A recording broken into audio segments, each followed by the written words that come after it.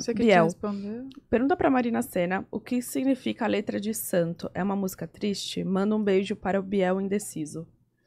Um beijo, Biel. Biel tá sempre comigo, sempre lá nas redes, estamos sempre conversando.